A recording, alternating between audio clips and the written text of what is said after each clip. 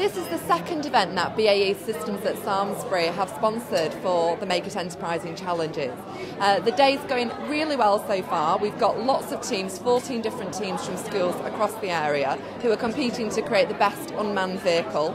The Dragons have been really impressed with the work that has been produced so far. The young people are incredibly enthusiastic and they're coming up with some really good work, so uh, it's going to be a fantastic day.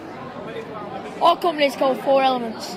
We also have a website called www.fourelements.co.uk. This will tell you all the information about our new new products and why they are unique.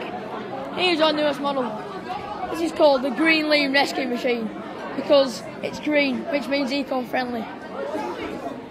This has spikes on the wheels, which means it will grind through ice, and uh, overall it's ready for any, any terrain.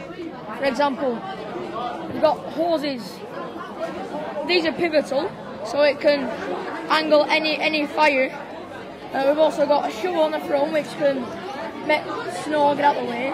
We've got caterpillar wheels, so it can move quite quite smoothly on the ground. We've got a store like cabinet inside it.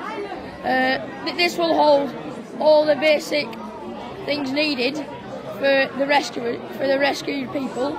For example, blankets, food, uh, heating, and like maybe a bed, or maybe some medical uh, medical aid.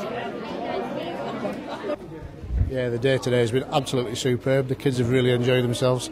Uh, young adults working on innovation and technology for the future, showing what British industry could be about going forward somewhere for the next 10 years.